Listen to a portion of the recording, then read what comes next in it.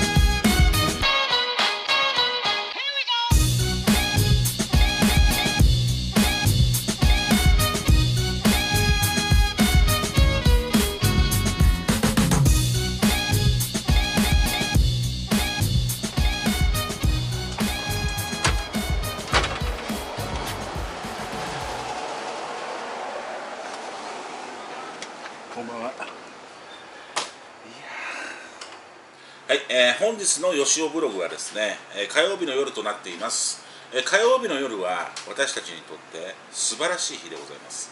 なんとそれは明日が休みだから。で明日の水曜日は養老の田中のお兄さんとですね2回目のハンソロの鑑賞に行きたいと思います。で2回目のハンソロの鑑賞は、え 4DX で見ることになっていて、えその後にまあぶっちゃけネタバレトークしたいと思いますがこの前、えーレディープレイヤー1を見た時にですね、えー居酒屋で、まあ、録画して居酒屋で録画した時にいろんな音楽が入りすぎて、え著作権絡みのあのカットになってしまいました。なので今回は車で帰り撮影しながら撮って打ち上げの居酒屋はちょっとまあ撮れないかなっていう感じな気がしますんで、はい、で明日まあ飲み行くんで夜ちょっとこれあの動画明日撮れないってことで今日火曜日の夜にですね1本動画撮っとこうと思って撮影しようと思います。で本日ははいクロップス、えークロップスですね。これは、えー何なのかというとサムネイルにもありましたが、えーキーチェーンでございます、え自転車の鍵またあの僕なんかキックボードの鍵をまあ欲しかったんですけれどもちょっとまあせっかくなんであまり邪魔にならずにちょっとコンビニとかに止めとくときにパパッと使えるちょっとおしゃれな鍵を見つけたんでその鍵のご紹介とさせていただきます。じゃあカメラカモンはい、えー実際これですね。これ僕のはいえー、均等モーションなんですけどもこれがクロップス。でこのクロップスっていう鍵はですねちょっと外すね、えーこんな感じではい。ゴム製になってます。ゴム製じゃねえや。チェーン製。でこの、えークロップスって鍵ちょっと待ってね。今目の前に置か置かせていただいて。よし。はい。えーこんな感じでビヨーンって1メートル以上伸びますね。でこの鍵が何でいいかっていうと、まあ、カバンとかで持ち歩く時はこれをここに締めてこうパパッとねつけててもまあおしゃれに見える。で色が様々ありまして赤とか緑とか黄色とか様々なカラーがあります。でダイヤル式になっていて実はですねこのチェーンの部分簡単に切れないようになってます。かなり硬いワイヤーでつながってるんでまあ盗もうと思えば盗まれるんだけどもあのーちょっとまあ買い物行った程度でしたらこの鍵で十分かなと思ってこの鍵購入させていただいてます、えー3桁の暗証番号。しかもこれ伸びる形で例えばこうパッてね止められそうなやつ。でいろんなこういう鍵あるじゃないですか。その中でもちょっと使いやすそうでちょっとおしゃれかなと思ってこのクロップスの鍵にさせていただきました。はい、えー本日は決してネタ切れではございません。えーこんな感じの動画を撮るときはネタがなくなってきたということで。つまんないななんでしょうクリスチャーないよ。でもさクロップスこれマスでも欲しいでしょ？いらない。そうでしょ？いらない。なクロップス。俺の俺のキックボード用の鍵はこれだ。あれ変わった？変わんない竹内サイクルで購入したやつですよ。これ B じゃないですか。B B じゃないですか。これさ竹内サイクル。これさ大体こういう感じでしょ？そういう感じで。そうそうそう。これ流行りますよ。当たり前だそれどうすんの？これ。手首です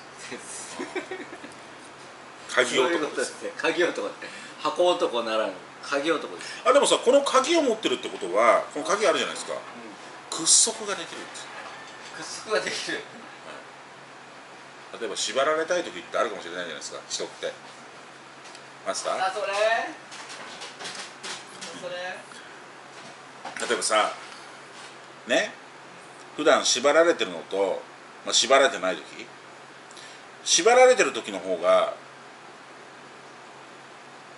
えやめましょう。こういう話はやめましょう。基本的に僕はあの SM は嫌いなんでただソフト SM ですよ今の話は。はいじゃあ今日ちょっとソフト SM の話いやできないです。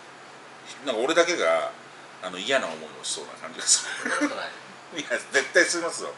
僕だけがなんかあの恥ずかしい思いをして動画が終わっていってアップした後に後悔する感じになる外していいですか？これ外すると気をつけて。気をつけて。危ない。前から言っちゃ危ない。危ない。危ない。ああびっくりした。腹腹帽子取れちゃうからね明日飛んじゃうんでしょ？4D 4DX 4DX 飛びますよ。ただ今あのちゃんと短くしてるんで別に取れたと乾いてるわけじゃないから。そう短い時は大丈夫。ただ周りよりもちょっと薄めなんで ここが伸びてきちゃうと目立つんですよ。薄めなんだ。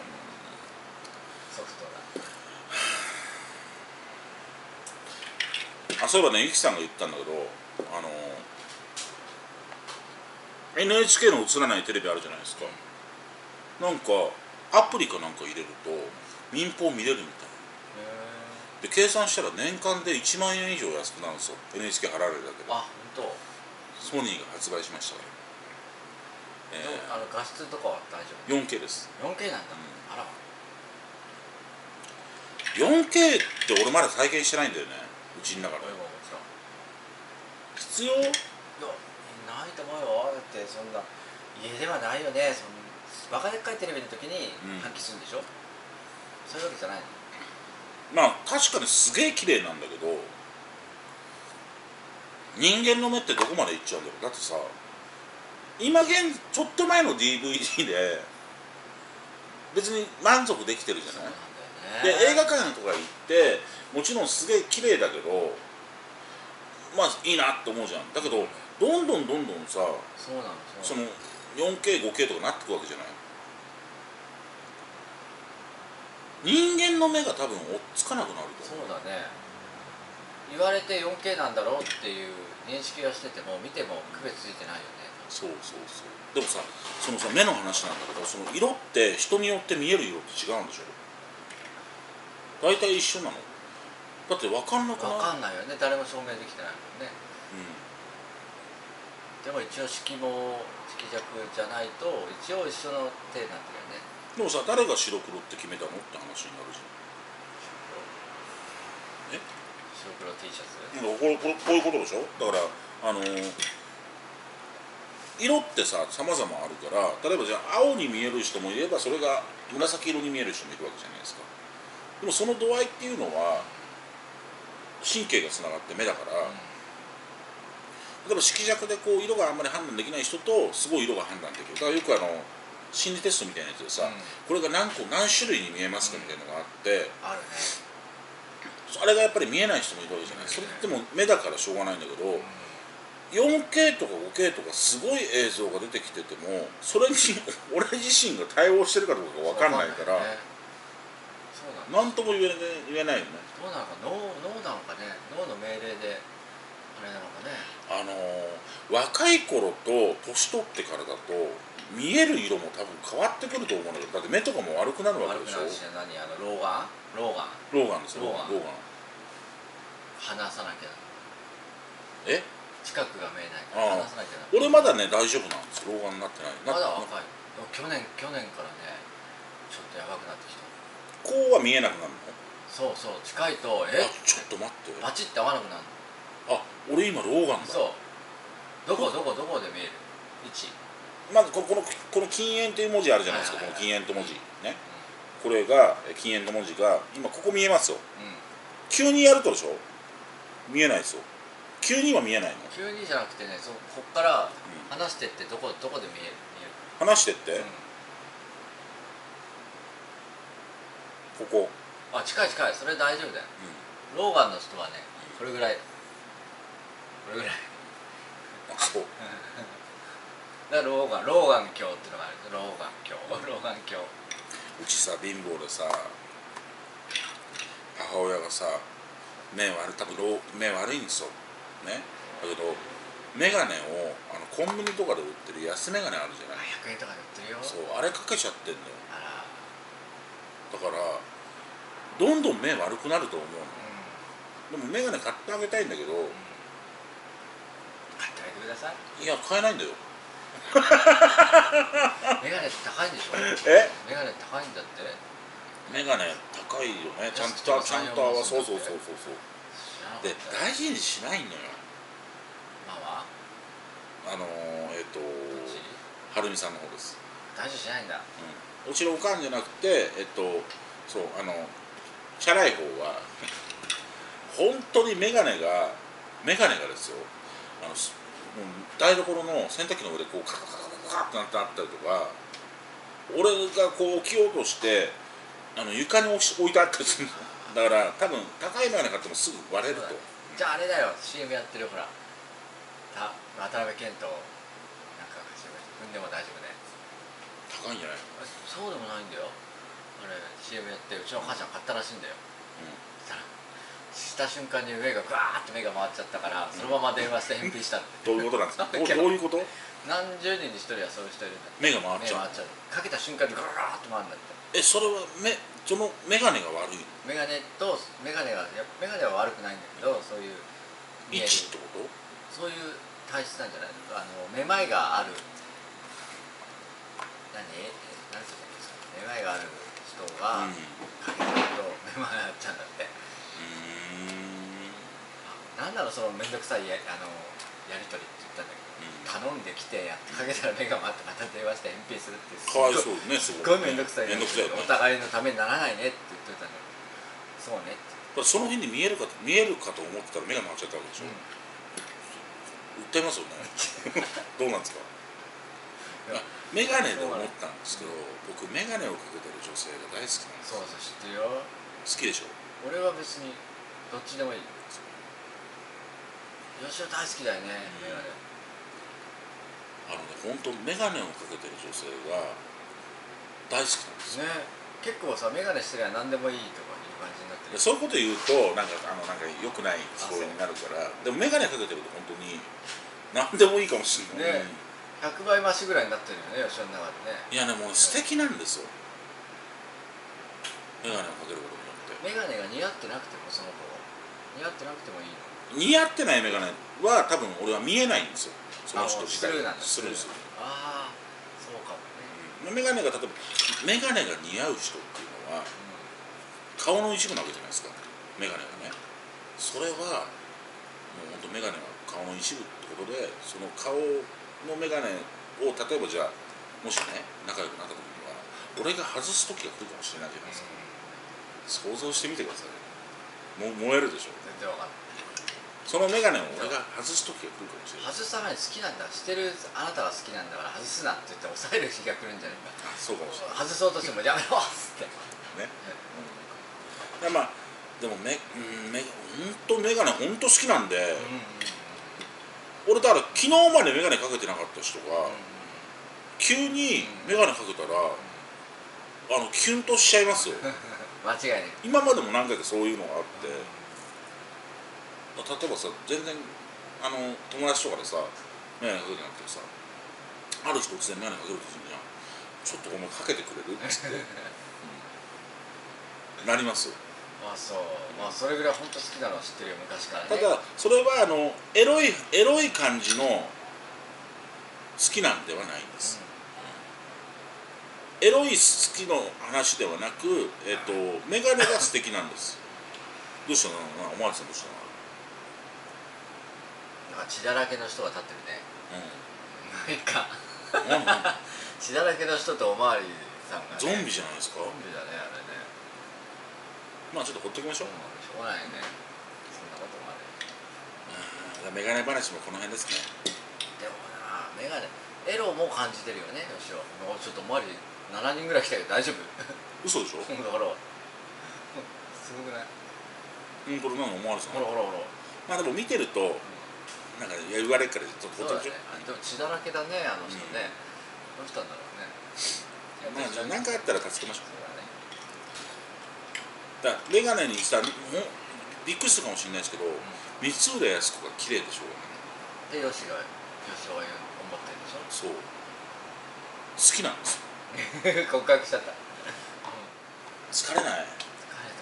本当にね暑さが暑暑さがちょっとね異常だね。異常異常。だってあのー、子供の頃ってエアコンつけないで寝たでしょ？そう。なかったよね。だってエアコンがなかったからね部屋にね。でえっと一昨年ぐらいに実家のエアコン壊れてた俺買ったんですよ、うん。で1年間ぐらいなかった時も暑かったけどでもまだ大丈夫だったんですよ、でも今年なかったら多分誰みんな死にますよね。本当それぐらいひどいよね。本当そう思います。なんだろうね昔みたいにさ網戸にして寝てても無理だよね。いやいやもう網戸にして寝たらさっきあの言ってましたけどね私エアコンダメなんですね。言ってましたけど、言ってましたね。うん。エアコンじゃあ俺が外し外してやろうかって話ですよ。死ね。エアコンじゃあ外して他のエアコンない家につけますよそんなのね。あ私エアコンダメだからって言ってたね。じゃあもうさ室外機から外し室外機をどっかに移動してあげればいい。それかもうエアコンのリモコンを捨てますよ僕がだっていらないの。いらない。調子に乗りやがって。本当に。まあそうそういうことですよ、うん。エアコンまあエアコンでもエアコンつけて寝ますでしょみんな。寝るよね。ねつけないと無理です。いやもちろんだからそんなにギンギンにはしないよ。だからある程度心地よく寝たいじゃないギンギンにしてたらうちのウリの猫ちゃんが冷たくなっててさもう一緒に寝てるから冷たいんだよ。もうウリ大丈夫なのかっても寝てんだよ。だから布団をねタオルケットをかけてあげてそのまま寝てたよ。可愛いよ。あのなんだろう猫ってさ冷たいところとか熱いところにすごい近づくじゃない？そうそうそうそうあれ多分本当に投資とかすると思うんですよ。そうなんですよ。心配になっちゃうね。あらら。ハムスターとかカメとか何回もあります？よえ死んじゃったの？だから連れてくるじゃない。だからあの投資ですよ。投資。冬眠しちゃうあ透明死んでないじゃん。あだからし死んじゃうんですよ。死んじゃう。あのだから冬だと思っちゃうの。だから冬眠して蓄えてないから死んじゃうんですよ。ああそういうことか。あれかわいそうになだから小動物飼ったりとかする人はエアコンちょっと多分みんな知ってると思うんでうなんも知らないで飼っちゃってる人もいるじゃない。そうだね。ちょっとその辺で簡単に変えちゃうから本当にあの冬眠する動物を飼ってる人はうん。